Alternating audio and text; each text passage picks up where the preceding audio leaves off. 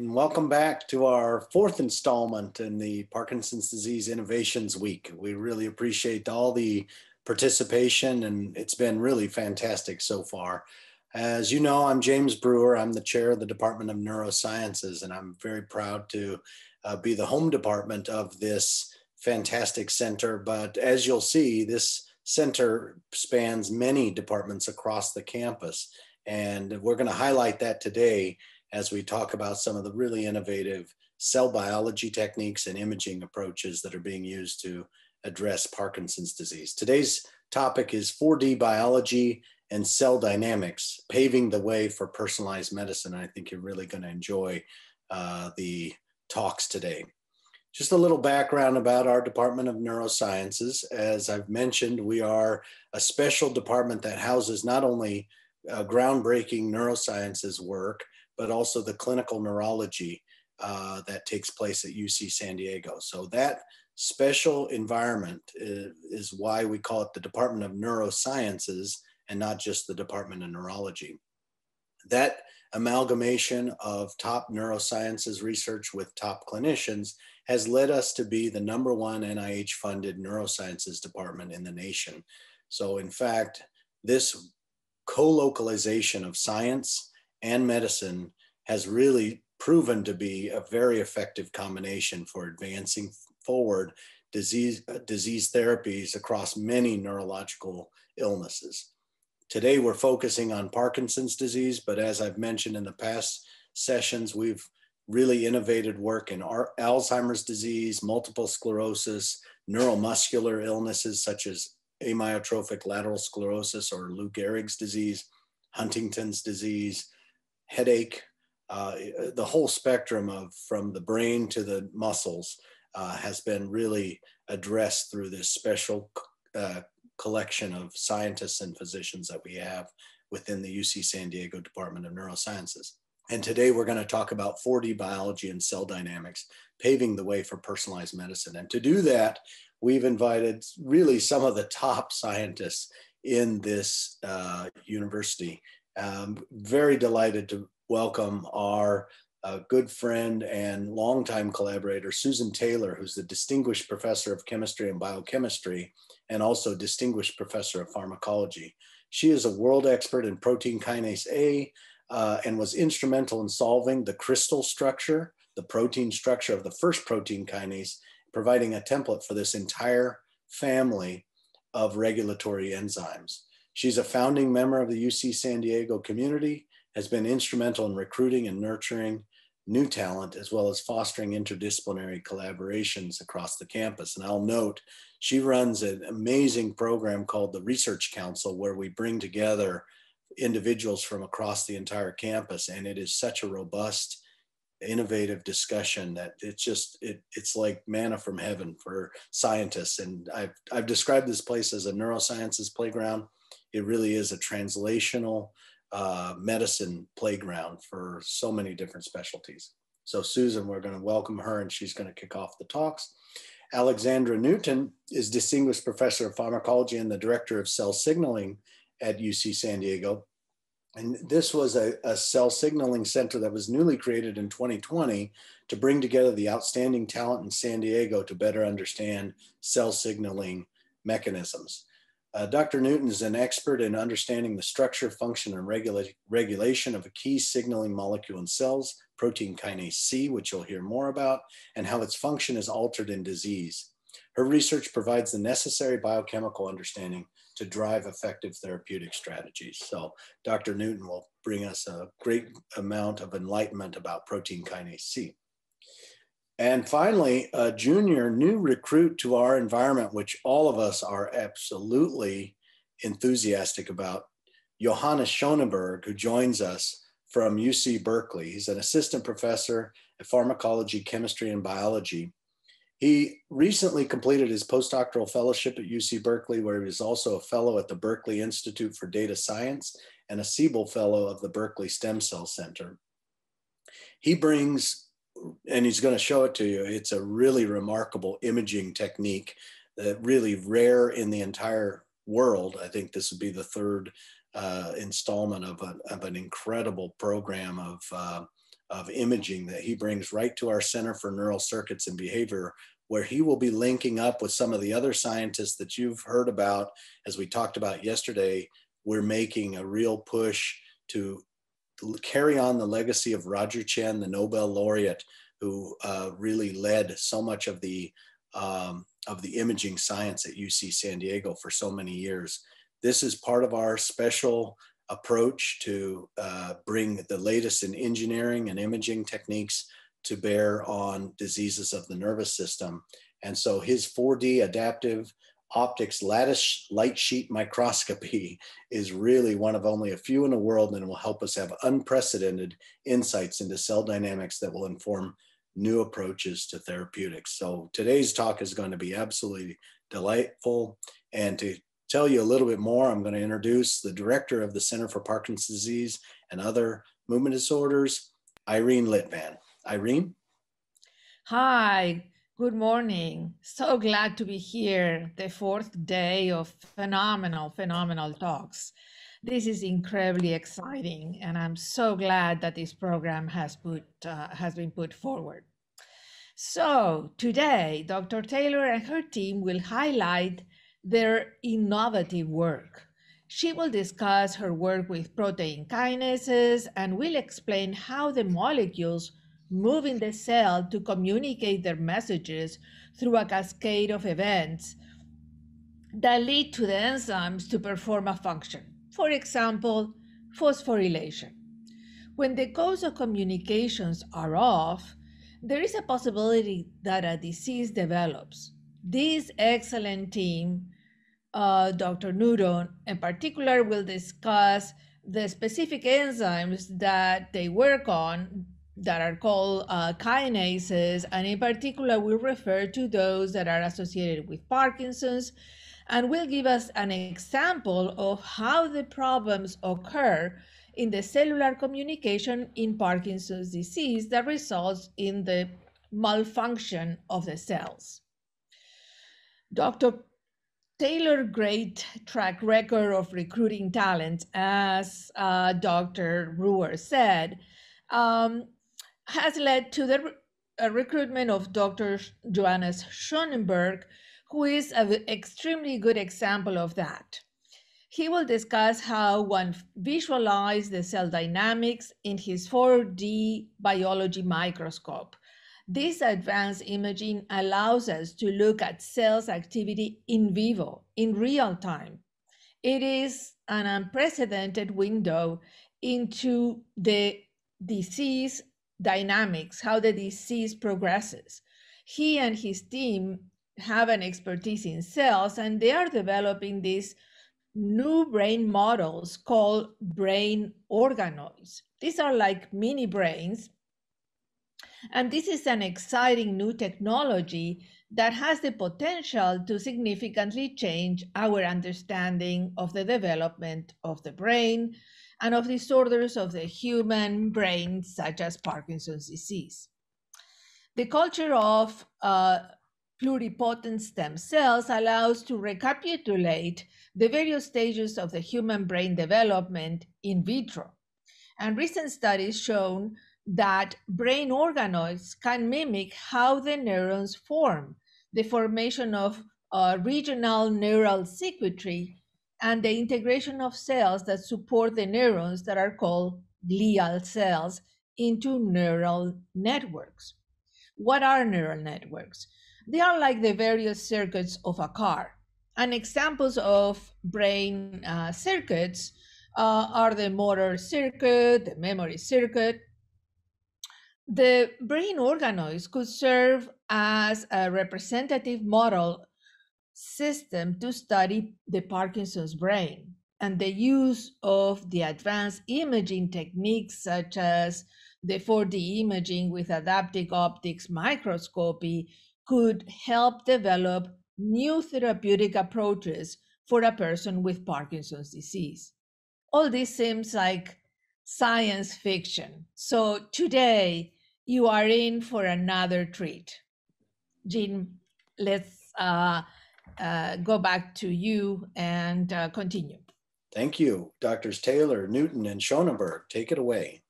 I will start off, and I it's my real pleasure to introduce myself and my team to you today. And thank you, Jim, for that really kind introduction. Um, I am, came here, my husband Palmer and I came here in the early 1970s. UCSD was less than 10 years old then. We bought a house in Del Mar and we've spent our whole careers here, not only developing our careers, but also building this to be one of the top uh, research institutions in the entire world. It's just incredible what has happened here on the Mesa. The hallmark of UCSD, I think, as Jim alluded to, is, is this um, uh, collaborative environment. So we have engineering, medicine, everything on the same Mesa here. So it's really extraordinary. And all of us collaborate. It's something that distinguishes us. So um, I, my expertise is with protein kinases, and I'm one of the eminent scientists on this campus. I, my career has flourished here. Um, kinases turn things on and off in the cell. You'll, you'll appreciate that. My expertise is with a, a protein called PKA. And you, you all know PKA because anytime, you know, fight or flight response, adrenaline goes into your bloodstream. And what does it do? It binds to the outside of a cell, a muscle cell, and it turns on this cyclic AMP inside and you get energy. Um, it's like your whole caffeine. Caffeine elevates your cyclic AMP. So my little kinase is turning things on in all kinds of cells and doing all different kinds of things.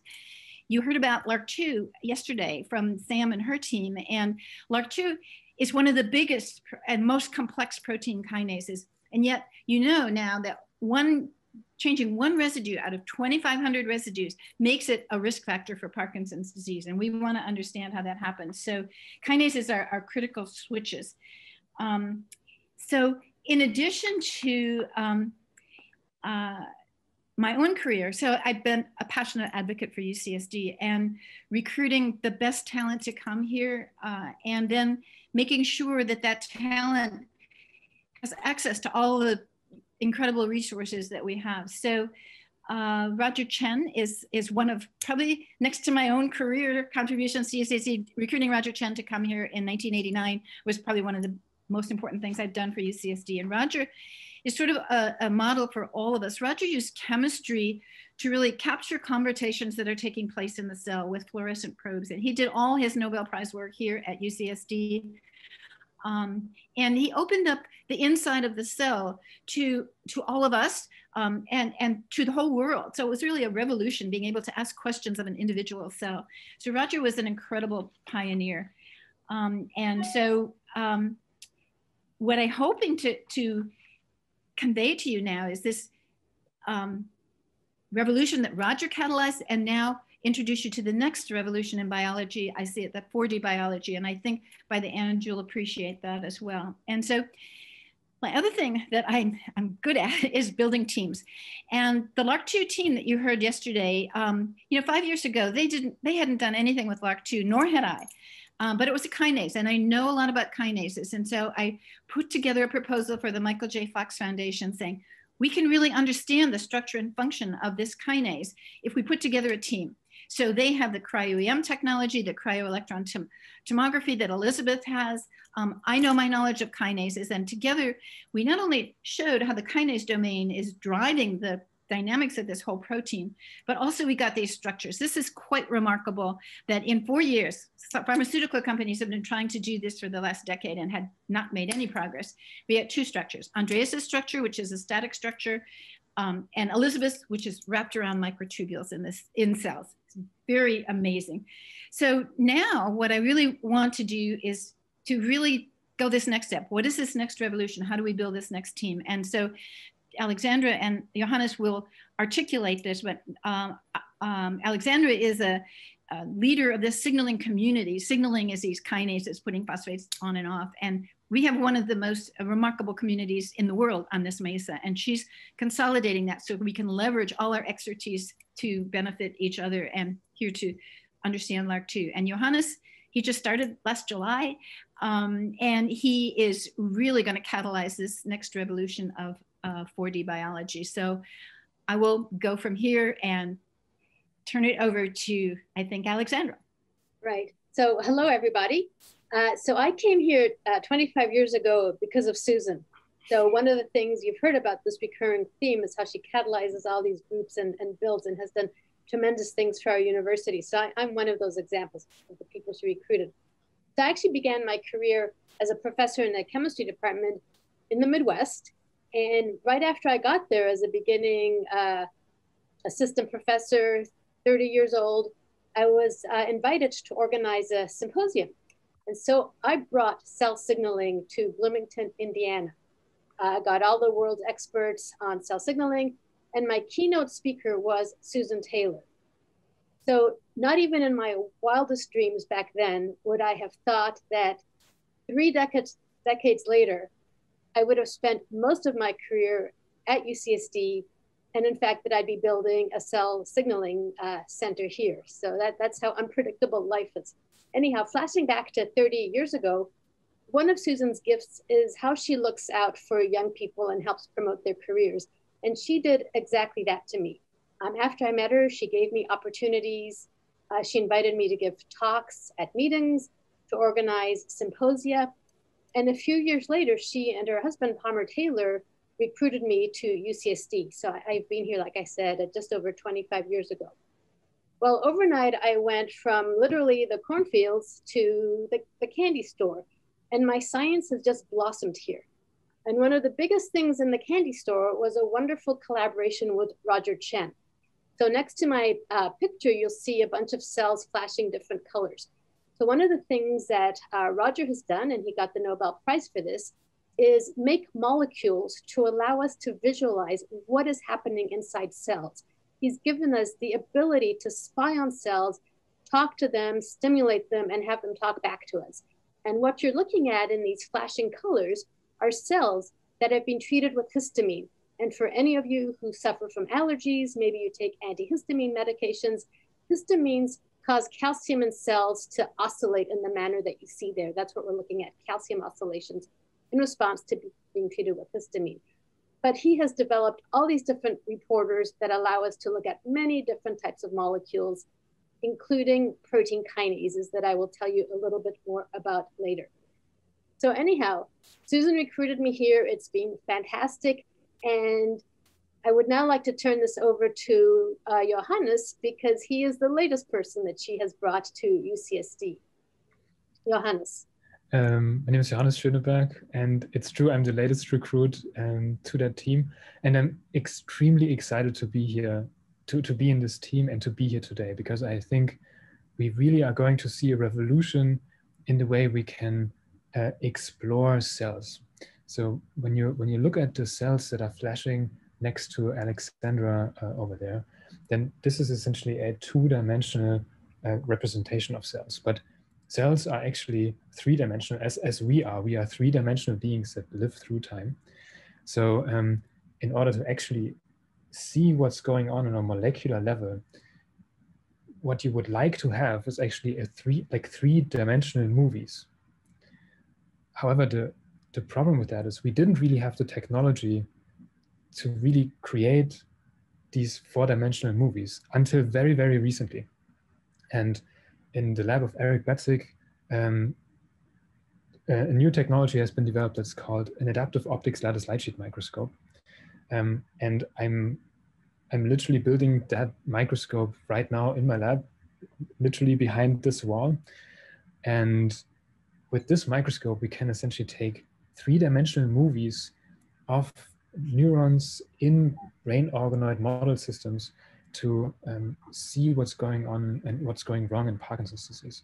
And the reason I'm so excited about this and so excited to be here today is in order to make this work and in order to really implement a new paradigm changing drug discovery strategy for Parkinson's disease, we need, you know, we, we, we need to understand the molecular details, um, how kinases operate, for example, where, where Susan is a world expert. We need, you know, um, world experts in cell signaling, how these molecular changes propagate um, through cellular outcomes. And then we, I can essentially come in and build on the work of, of Roger Tsien, who developed GFP to actually, you know, make cells light up. And then I can take that technology and uh, like a couple years later, now we have like the ability to build microscopes that fully utilize that technology to essentially close the circle and um, and and apply it to further human health here at UCSD. And you know, we have the clinic right here on campus. Um, we have the San Diego Supercomputing Center here on campus. I'm going to talk about that later. It's going to uh, require a lot of computation um, to, to make this happen. We have the um, Cell Signaling Center here in San Diego. We have this fantastic team. So I think um, we, we can now really go ahead and make these, these fantastic advances and pioneered on Parkinson's disease. And so um, th this is just a quick overview of, of what we um, what we think we, we want to build. So typically diseases like Parkinson's disease, they start with small mutations in molecules. And these small mutations in, in, in molecules, they propagate through uh, the cell signaling networks and essentially cause havoc in the cell. And then we can essentially go ahead and look at skin cell derived um, brain organoids. We take um, skin cells from patients, we derive um, small pieces of brain tissue from these skin cells, and then um, can use the 4D uh, lattice light sheet microscope to take you know, live movies of what is actually going wrong when you have individual mutations in individual kinases, but then um, propagate through signaling networks to, to wreak havoc. So this is essentially what, what our team is, is what we're proposing. And I think Susan, you can you can take it from here and talk deeper about you know how like the molecular uh, the molecular aspects of, of our pipeline. Okay, so we'll go from the mechanistic to the, um, and that in that image, I think you could see the real potential of taking Irene's patients and bridging all the way across to a mechanistic understanding of how these molecules work and importantly why they go wrong when one residue is changed. And and bridging that and then going to therapeutics is really the theme of, of our whole talk. So the next one is um, this is my the first protein kinase structure. That's pka that was done here at the supercomputer center with all the computing things that they helped with. That was that's what i'm most famous for this structure that was solved 30 years ago now and it's a template for all those kinases they all look the same if you draw it in this cartoon way when they're active they they all look the same. So now if we jump forward, um, now this is a, a, very recent article that what, what we understand is that these molecules are highly dynamic. They're not like fixed in a crystal structure where it's very rigid. You want it to be rigid so you can capture the, this, the atomic structure, but they're very dynamic molecules. They're moving around, the loops are moving around, and it's that dynamics that really makes them be a switch. You switch it on or you switch it off. There's switches of the cell. And adding one phosphate can switch something on and taking it away will switch it off. So it's understanding that whole realm in, in, in the beginning. That's what we wanted to bring to our uh, lecture. And um, so the next part is showing in the middle now, um, really the most amazing, this four domain, this is a huge protein kinase and it's got the domains captured with it, which is very unusual. And so you can see how the kinase domain, which is kind of the two orange ones in the middle, it crosstalks to all the other domains there. So something happens in that green domain, that's where a signal starts. And it senses the kinase. The kinase opens and closes and it and, and you can see when you do take that structure and now you begin to look at particular residues and you look at molecular dynamic simulations, again with a lot of computing, you turn it into a dynamic molecule where you can see this crosstalk, you can capture this crosstalk.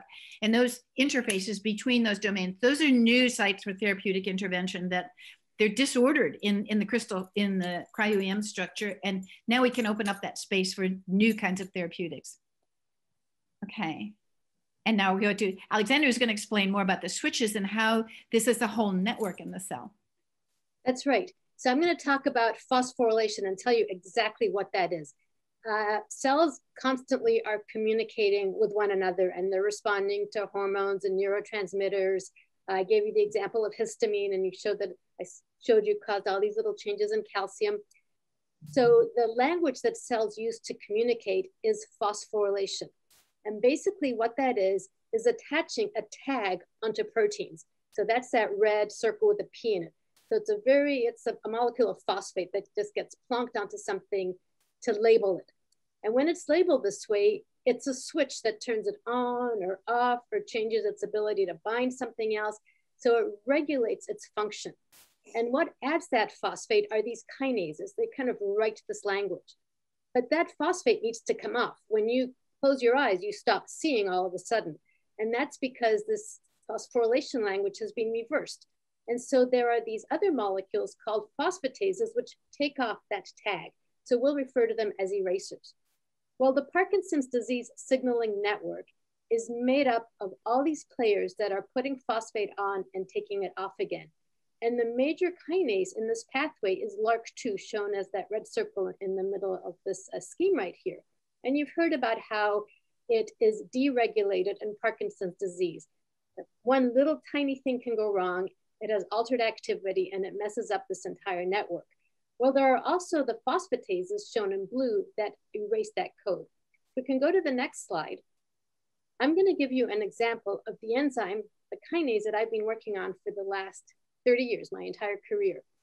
And for those of you who live in the La Jolla, Del Mar area, if you ever see a car zipping around with a license plate that says kinase C, you will know who that owner of the car is. Although I have to say it's been parked in my garage for the last 14 months. Anyhow, protein C is an example of an enzyme whose activity has to be exquisitely controlled. And if it's writing a little too quickly, you end up with diseases like Alzheimer's disease and cerebellar ataxia, so neurodegenerative diseases. And if it's not writing fast enough, it's a little too slow, you end up with survival diseases such as cancer.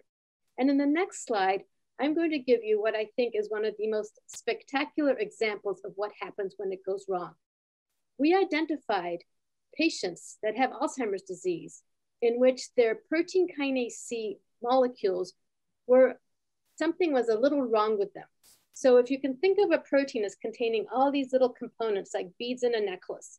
So there are, these are amino acids. So protein kinase C has about 800 beads. One of those beads is a little too small. So it goes from a methionine to a valine, so tiny, tiny bit smaller. So that changes the kinase, the molecule, so that its activity is 30% faster. Now, 30% faster is not a big deal. It would be like you driving instead of 55 miles an hour, you'd be going 70 miles an hour. So maybe that would be a big deal because you get a ticket. But it doesn't really seem like a, a big change in activity. Yet it changes the phosphorylation pattern in the brain.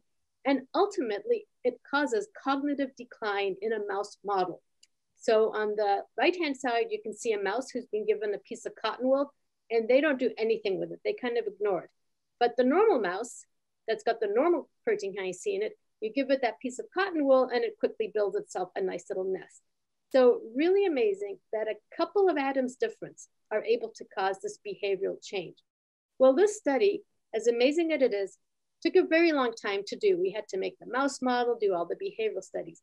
So wouldn't it be nice if there was a way that we could actually directly look at tissue from patients that have this disease figure out what the genetic defect is and develop drugs instantly without having to develop these long mouse models.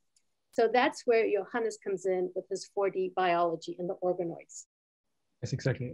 I, I think it's really exciting. We can essentially build um, new readouts and faster readouts to make this drug discovery pipeline um, and run faster. And so um, the way the way we could do this is, for example, um, we can when we look at Parkinson's disease, then in the signaling network, there's LRRK2, Parkin, PINK1, FLIP, uh, synuclein, and all of these molecules are intrinsically related to mitochondria. So it, you can actually think of um, Parkinson's disease as, as essentially being a, a, mitochondrial disease. And when you look at um, mitochondria, how they look like in, in healthy cells, then they essentially form this like long filamentous network. When you look at mitochondria in uh, mutated Parkinson's disease um, um, molecules, then all of these mitochondria essentially uh, are disrupted in, in one or the other way. They form like these small little um, mitochondria filaments and these like uh, longer, uh, essentially disrupted structures. But when you when you look at those structures, what is really required is actually a quantitative readout. So what I'm trying to say here is we, we actually have a readout for Parkinson's disease, and it could be uh, these mitochondria phenotypes, how mitochondrial networks are really disrupted in Parkinson's disease. The problem is we really didn't have we didn't have a way to to access this information until now. Um, with the 4D imaging, with the new microscopes and the new microscope that I'm developing. Um, so because when you when you look at how mitochondria has have been imaged typically, um, you have to essentially like grow a cell on a glass cover slip.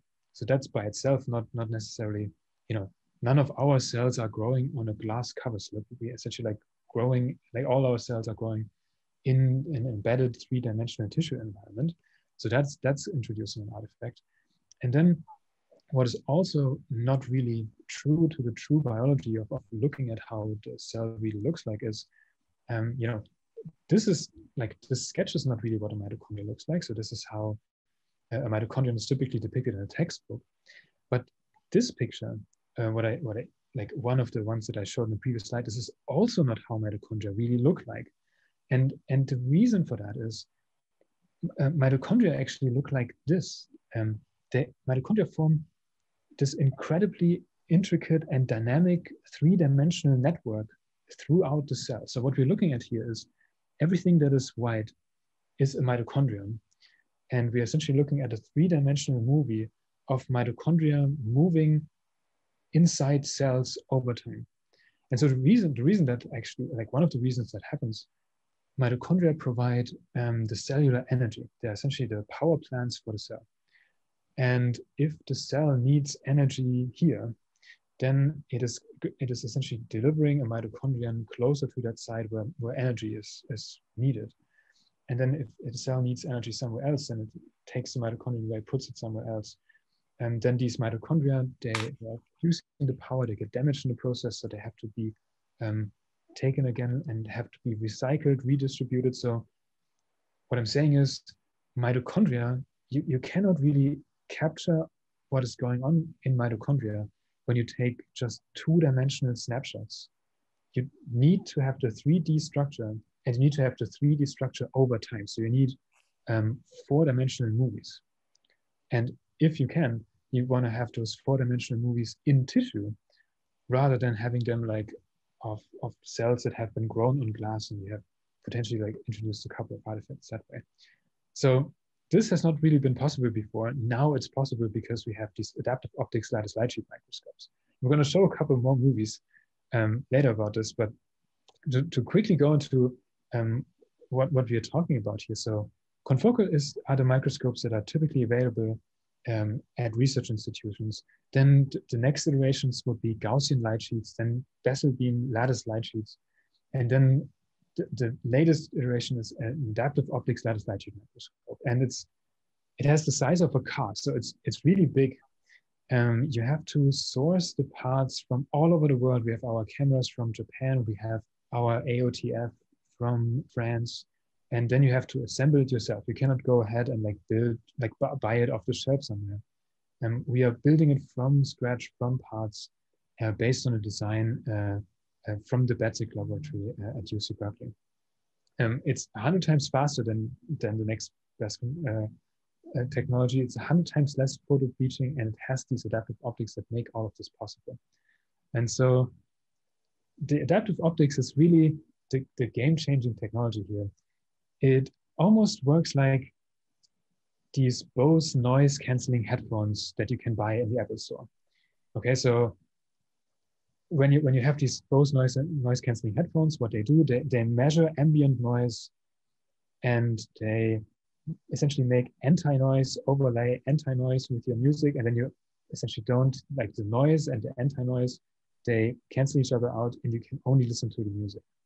We do the same thing with optics and with microscopy. Because you know, when you when you look at like when you want to image my hand, for example, then my, my hand is quite opaque. You cannot really look through my hand. What we can do though is we can measure how my how my hand is scattering the light, how how it essentially like is diffusing the light everywhere. And with a system that's called adaptive optics. So this is essentially like when you look at light rays, they go into a tissue and then get scrambled in the tissue we have this adaptive optics system that allows you to measure exactly how the tissue is scrambling the light. And we can calculate the inverse of how the tissue is scrambling the light, put that on a deformable mirror. and then the, the uh, aberrated light from the sample plus the inverse aberrations on the deformable mirror, they cancel each other and you get perfectly corrected waveforms. So the bottom line is, if you take a normal microscope and you look at tissue, you get blurry images. When you take the new microscope with adaptive optics, you get very, very sharp images. And so now what we what that allows us to do is we can take these skin cell derived um, brain organoids, we can, you know, culture them in, in dishes. So this is essentially like uh, day seven, uh, day eight of cortical rosette formation. This is like, these are the very, very earliest steps of, um, you know, brain formation. We can essentially um, grow these little pieces of brain tissue in a dish. And then once we have them in a dish, we can go ahead and image them live in three dimensions. And so um, this is essentially me um, you know, in the lab, we have uh, essentially growing these, these brain organoids as, as model systems um, for neurodegenerative disease, for example, for Parkinson's disease. Then you have these three-dimensional tissues, not grown in glass or anything, where you can um, image the dynamics live. And then we can take those live pieces of tissue and take movies at super high resolution um, with these adaptive optics lattice light sheet microscopes. So now what we're looking at here is um, we have essentially taken a, a block of tissue, a block of brain tissue. That's, that's essentially our block of brain tissue here. Um, what you're looking at in uh, green is the cell membrane. So those are like the, the outsides of the cell. In, uh, in purple, this is the endoplasmic reticulum, the subcellular structure. And what we have in uh, blue is mitochondria. So those are the, the ones that we want to observe. So for this entire block of tissue, we have essentially uh, captured a three-dimensional movie.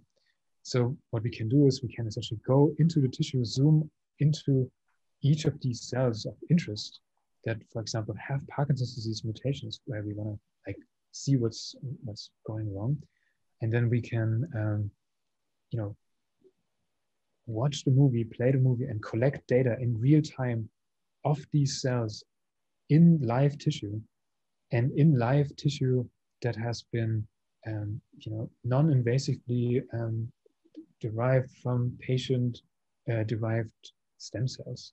And so this is just you know we are combining a fantastic model system um, with this new four-dimensional imaging technique um, with um, the insights of essentially molecular changes and cell signaling uh, with this wonderful readout. And so just one one last, so this, this all looks fantastic. one of the big problems is when you actually image a, a, block of live tissue at subcellular resolution of like 200 nanometers resolution, um, and you image that every second, like this, this entire 3D volume of tissue, then you create a lot of data, like a lot of data. So um, typical microscopes produce like maybe a gigabyte of data per hour. Um, our microscopes, these four-dimensional light sheet microscopes, they produce uh, three terabytes of data per hour. So just to give you an, a, a, a reference point, the internet speed that we are right now probably using to um, watch the Zoom call, it's like 10 megabit per second. That's typically like the internet speed that we get at home. Um, we have to use data center grade uh, 80 gigabit per second internet speeds. Like it's essentially um, fiber optical cables that power YouTube servers that, that we are plugging in right into our microscopes and send the data directly to the San Diego Supercomputing Center just to just to deal with the with the just amount of data. But this amount of data is fantastic because it really tells us what what's going on in the cell and what has what's going wrong in Parkinson's disease so that we can go ahead, understand it, and fix it. And so that's that's essentially what we are what we can do, what we're proposing to do, and what, we, what we're doing is um, we take these patient-derived um, brains, um, use 4D imaging in these mini brains to really figure out what's going wrong um, in cell signaling and in Parkinson's disease and then uh, use the data that we get for unbiased drug discovery. And um, yeah, this is essentially uh, our vision for curing Parkinson's disease. I'm, I'm incredibly excited to be part of this um, phenomenal team. So uh, thank you, Susan, for, for having me. Thank you, Alexandra, for having me. Thank you, Irene, for, for that I can be here. And thank you, thank you, Jim, for like that I can be in in the center in CMCB center because like the environment is fantastic. And um, yeah, Susan, uh, this is fantastic. I, I give sort of um, summarize from this. I think you can see how this is an extraordinary opportunity to take Irene's patients, take fibroblasts from your skin, make your organoid, do your readout of mitochondrial any any neurodegenerative disease is a defect in mitochondria and especially how mitochondria and er crosstalk those two red and uh, green and purple things crosstalk and then you can actually use it to screen for uh, therapeutic things that not just go to the active site of LRRK2 or PINK1 and other kinase, but will affect, will correct the mitochondrial defect. So you have an unbiased way of screening. And so I guess I see it as an opportunity for building something really special. You can build um, the, the teamwork, the, uh, the engineering of the microscope and the computational thing. That's a huge infrastructure that we need to have in place so people can query easily this system. But then there's the team of people who make it work. And so Johannes is going to have uh, computer science students, biology students, MD, PhD students working together. And they're going to be the bridges who make this all work, who, who really make this this work. They are people, so we want to build this infrastructure. We want to build like a team of, of Roger scholars who would be then attacking one working on the computational part of it, one working on the microscope part of it. They would talk to each other and they can also talk to you um, as, as the potential community. And I think that would give you a personal link to what's going on. Not only you know, your mutation from your skin cell is now in that microscope and you can watch what's doing and what it's doing. And so I think it's a real opportunity to help us build this infrastructure and you know, it takes a long time going through NIH. It takes a couple of years to get all this funding. So I think it makes a, it's a huge opportunity for for donors to accelerate this process because as, as Johannes said, this is one of the three best microscopes on the planet. He's just going to be running it for the first time in the next month. And it's amazing. He just came in in July, and now we have one of the best microscopes on the planet to ask these questions, and we want to use it to understand Parkinson's disease. Fantastic. Thank you, Susan, Joe, and Alexandra. Very kind and fantastic presentation on, of some of the really exciting work that's taking place here. So we're going to open it up for the Q&A. And I think one of the first questions that comes up is regarding the idea of personalized medicine. So when uh, one viewer asked, what does personalized medicine mean? And how, give me an example of how you'll be able to personalize uh, treatment for me. And I think it's very interesting, you know, Susan touched on it a bit, that, that this linkage between our clinicians identifying individuals, understanding their underlying genetic background, and then being able to explore their biology in these very, very, very detailed manners is, is, is a remarkable opportunity at UCSD. But can you expand upon it's so could, linked could to personalized say, medicine. You know, in terms of, so there are four very common mutations in Parkinson's disease. Uh, two are in the kinase domain, two are in the, uh, the uh, other domain. And they drive, we, that's, they give you the same phenotype. They give you dysfunctional mitochondria. But you can take that one single mutation from your the patient with that disease and make the organoid and see how it works. So that's personalized medicine. You may want one drug for that patient who has a mutation in the kinase domain, but you want may want another drug for a person who has a mutation in the GTPase domain. The GTPase domain makes it come apart. Um, the kinase domain makes it go off and on, the kinase go off and on. So you would have a different drug. You could have a different drug for one mutation versus another. That's what personalized medicine is. How do you how do you translate your specific mutation into a biological phenomenon that we can then address pharmacologically. Let me Fantastic. let me actually let me actually add on to that uh, also. So I talked about that that bead of necklaces. There might be like 800 beads or a thousand beads there. Personalized medicine is we find out which bead is off. And you might be the only person that's got that mutation. It doesn't matter. We can figure out why that off bead um, is causing the disease and then we can use this 4D biology to, to screen for drugs that will work specifically on what you have gone wrong. Great. Fantastic. So, linked to that, do you, you expect to find there will be different types of Parkinson's disease as you dig in further? Yes, there are different people that have different presentations of Parkinson's. Some people may have tremors, the other ones may have problems walking, etc. So as they present in different ways with different symptoms, it is also likely that each person may have its own um, problem. And so this technique, what is going to help is identify the real problem and try to search for the proper medication that can help to improve that problem.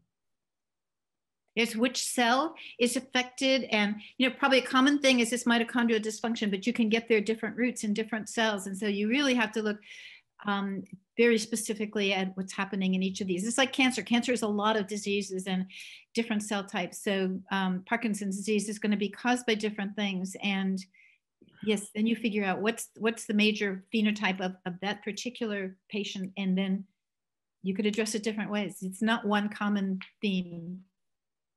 Right. And uh, related to that, then, do you think that this technology or approach may be able to develop therapeutics for atypical Parkinson's? Yeah. Mm-hmm.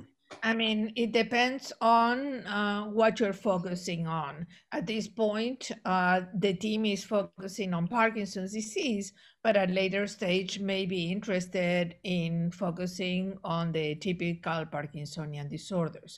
And they have different proteins that are involved, like tau instead of alpha synuclein. So it's different uh, what they're searching for. Great.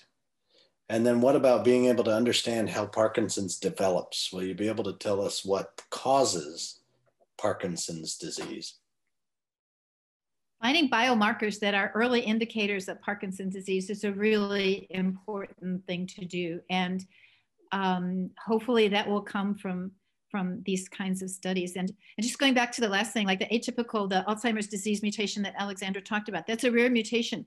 But it may be that if it's a rare one, there may be a a specific cure for that one. And so um, it's it's you know it just gives you different mechanisms to get to the same root. And it maybe even though it's a rare one, you may have a specific way to approach that and treat it rather than a pan uh, therapeutic that's going to work for everything. You know, I found it very interesting the linkage to mitochondria, which seemed to be a co- final common pathway in many diseases of aging, right. and the energy pathway that you know even if you have the worst mutation it's still not going to affect you until your 40s or 50s and such. So it seems like these mitochondria kind of gradually get less and less effective as uh, energy substations of the of the body and that may be the linkage to uh, aging. Do you have any thoughts on that? Maybe it may be um, less functional. But what you also have to do, mitochondria work really, really hard and they turn over. You have to get rid of the bad ones. And so it can be like, like Sam is talking about transport, get you have to get rid of the bad ones and you give it to other cells and they chew it up and make energy and use it. But if you can't get rid of the garbage, then you, then you get stuck and you get these things. So that's, I think, another part of the mitochondria, but mitochondria is the central thing. And it great and it, it nicely brings up the linkage to some other recent recruits that we've made that are uh, that are really focusing on a, a very detailed measurement of my, mitochondrial function. And again, just seeing the kind of uh, natural cross fertilization that takes place at a place like UC San Diego, where folks that are, you know, may not have thought of Parkinson's disease, they were interested in mitochondrial function, now start to see, oh my gosh, this is quite relevant to a disease that's taking place here. And they link up with their partners and and uh, start collaborations. I think for Joe, this is going to be a really great environment for uh, just making those linkages, almost like those little network figures that Alexandra showed. That's almost the a microcosm of what our, our clinicians and our scientists experience.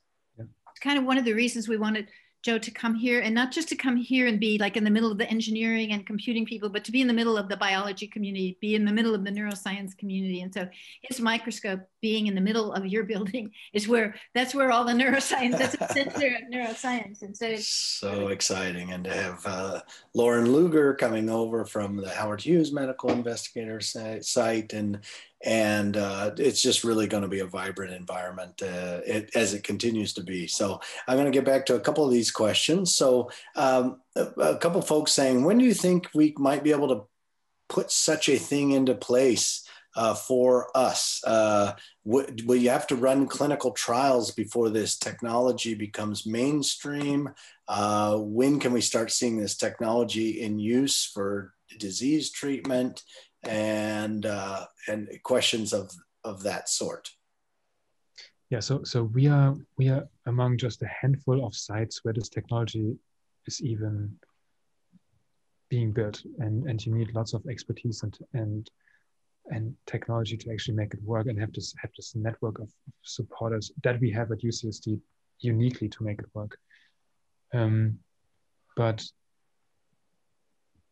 at the same time, the, the capability is is so so powerful um, we need to get it into into more people's hands and so one of the, one of the one of the ideas really is you know i'm, I'm building a prototype like like one microscope here and then we're gonna um, build a second one um, open it up to the campus community to have have more people come use it. Um, because I, I think we have to really like move away from imaging cells on glass cover slips in two dimensions and actually like move into taking three-dimensional movies in tissues.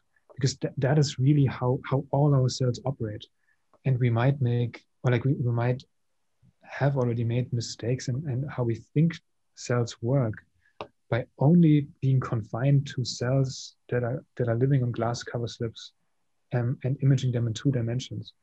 So i think as and yeah i think you know also like when we talked about atypical parkinson's disease it's, it's a microscope. You know we can use it you know for for many different applications. And this is a technology that we we have to develop and get into more people's hands as quickly as we can excellent well you'll start doing now the microscope's almost done the first this first year you will make organoids from patients with Parkinson disease yeah. mutations, and you will look at their mitochondria. That'll be done with this year. You'll have a spectrum of maybe yeah uh, half a dozen different Parkinson disease mutations. What do the mitochondria look like? Developing the drugs, doing the drug screening, and then when you find a drug, doing the chemical, the trials and everything like that, that takes a long time. But doing this mechanistic understanding, can using the mitochondria as a readout, that's going to be done as soon as your microscope. It's going to oh, yeah, be the first experiment. Absolutely right. Like so, so the, the movie of a, of a brain organoid that I showed, that, that has been done in, in the lab. So that, that's essentially brain organoids that have that are growing like a couple a couple meters from here, and the microscope is going to be ready. Um, yeah, literally in a couple of weeks, and then and then we're gonna like collect data. Um, so yeah, no, we, we are we are on this, and we are like it's exciting. It's it's happening. So one of the questions. Oh, go ahead, Irene. No, I was gonna say that uh, knowing where the problem is, knowing uh, the structure, we can design drugs, medications that could help. Uh, they may be in the market, they may not be. So that needs to be seen. So that takes some time. And we don't know how long that would be because, you know, there are different steps. Uh, but the certain thing is that we'll be in the path to get to the proper treatments. Right.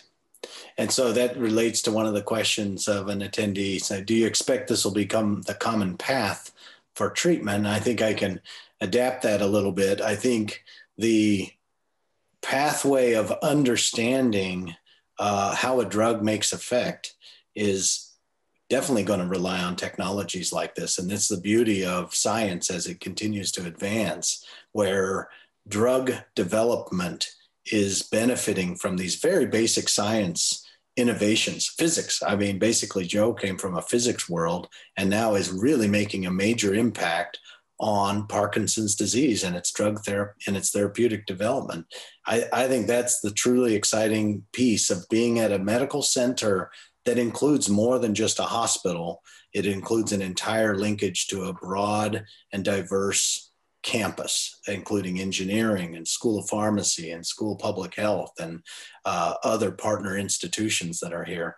Uh, so I do believe it'll become the final pathway toward uh, very much rapidly developing new therapies, and, and places like this are going to be leading the way.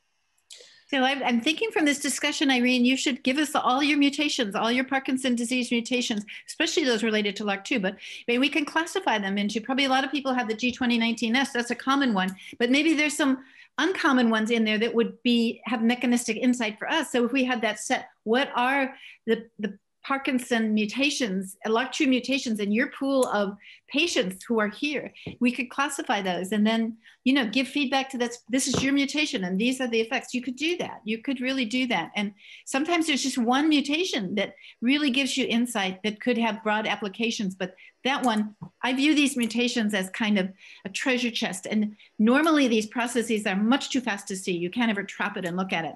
But you get a single mutation and it gets stuck, it gets jammed. And that allows you, like it allowed um, uh, uh, Andreas to look at that structure, it gets stuck. And now you can look at it. You can look at something that's um, otherwise too dynamic to see.